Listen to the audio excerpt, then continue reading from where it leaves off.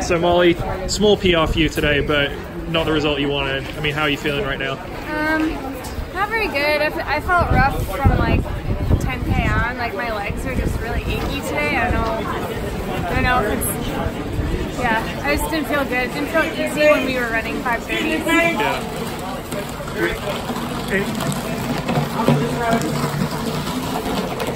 Any, idea of why that was? Not really sure.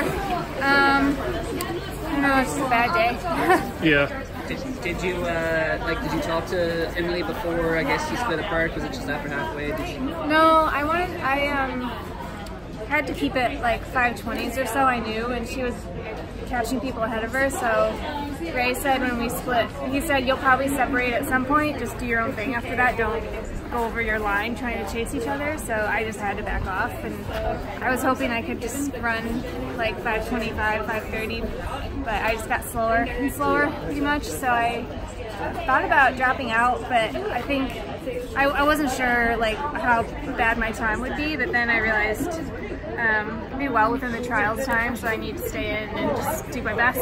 Yeah. I mean, how bad were you hurting that second half? I was running like six minute miles, like the last like five miles, I think, or five fifties. Just, just bad. Just like my legs are just not going. So Yeah. Could you Um, could you find any explanation for that? Like you felt pretty good coming in, did you? I felt okay coming in. I feel great. So. So four marathons into your career, I know it's right after a race, but I mean, how do you assess how you've, you've done in the marathon so far? Um, I mean, that wasn't good. I think the New Yorks were good. I think like my times in New York, I was fitter than obviously 226 when I ran 226 in New York. Yeah. So um, third and fourth there is good. Finishing with 220 women there is good. But today just wasn't good.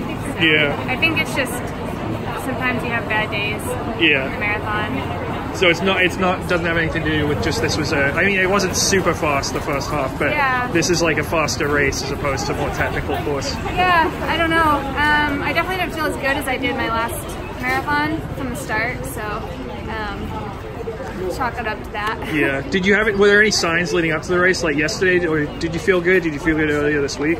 Um, tapering, so it's hard to tell. Yeah. Yeah. And do you, I know it's probably you never you can't really look past today, but like, did you do you have a sort of map to the trials next year? Do you know what you might do in? Um, I want to try and run worlds on the track, and then a half marathon in the fall. All right. Thanks, Molly.